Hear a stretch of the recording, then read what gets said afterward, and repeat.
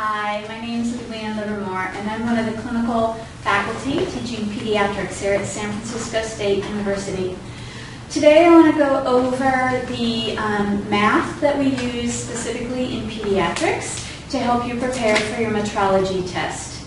Um, working with kids is a lot more challenging in math than adults because we must take adult um, dosages and figure out what is safe to give our children. So I'm going to go over various topics that you will be tested on in your metrology test. And on the follow-up orientation day, I will answer any questions that you may have. So today we're going to specifically talk about conversions um, that we use in math, calculating fluid requirements, because children are a greater percentage of water to body mass the younger they are, so they need more fluids the smaller they are if they are NPO. Um, calculating safe dosages, both the minimum and the maximum allowed concentrations um, to give those doses in. And how to calculate the minimum infusion rate, how quickly can you give a medication, and finally, calculating percentage of weight loss. This is important because children who present to the hospital dehydrated need to have special fluid replacement, and we need to figure out exactly how dehydrated they are and how much fluid they're going to need to get back to their normal state. Um, most important thing to remember in pediatrics is that everything is based on the metric system. So all of our medications, the weight is based on kilograms. So one of the most important conversions that you need to remember is how do we convert pounds to kilograms. One kilo is equal to 2.2 pounds. So we're going to divide pounds by 2.2 in order to convert to the metric system. So an example, if we have a child who is 9 pounds, it's going to be 9 divided by 2.2.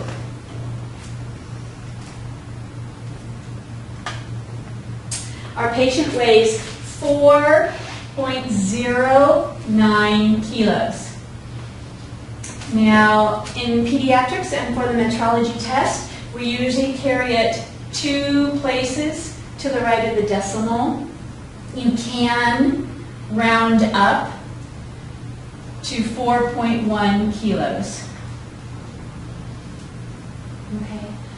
Another conversion is we need to remember milliliters to ounces because sometimes parents ask, well, how many ounces do I? Um, so remember that um, we have 30 milliliters is one ounce. Um, ounces to milliliters. Let's say I have four ounces. The patient drank a four ounce glass of juice we need to enter that in our electronic medical record in milliliters. 4 times 30, so 4 ounces, is equal to 120 milliliters. Um, milliliters to liters, milla, milli, in Latin is a thousand. So there is 1,000 milliliters in one liter milliliters to teaspoons. Maybe if you're cooks, you are um, knowledgeable that um, there are three teaspoons in one tablespoon, and that there are two tablespoons to one ounce. And we already know that there are 30 milliliters in an ounce.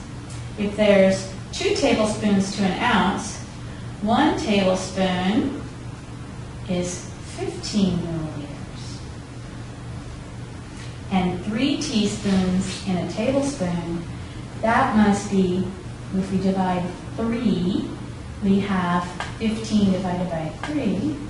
There are five milliliters in one teaspoon.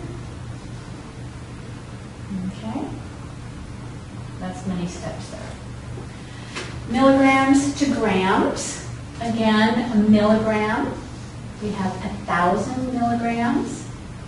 One gram.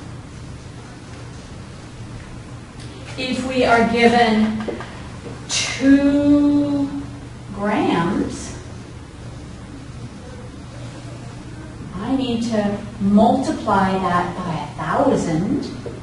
I have 2,000 milligrams in a two gram dose. Milliliters to tablespoons.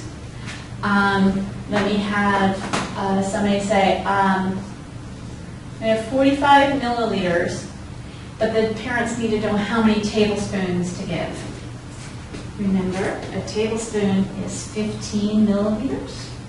45 milliliters is 3 tablespoons.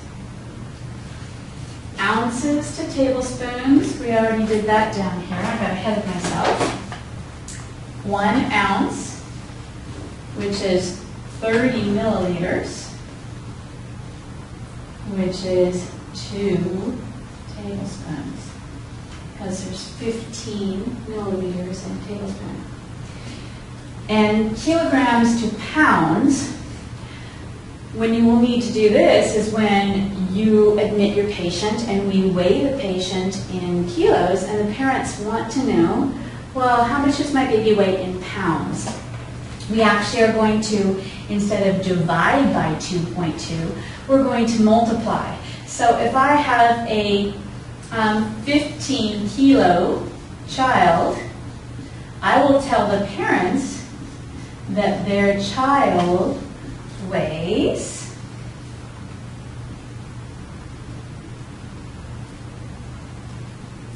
Thirty-three pounds.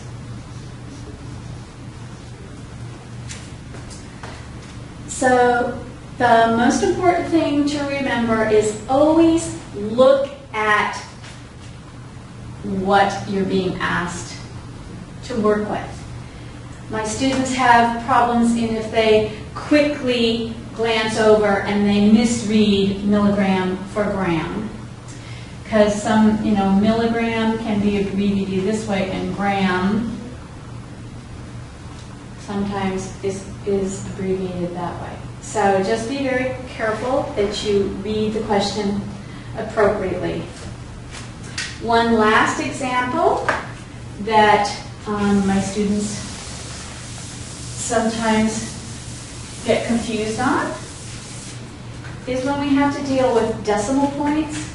So if I have 0.05 grams, how many milligrams is that?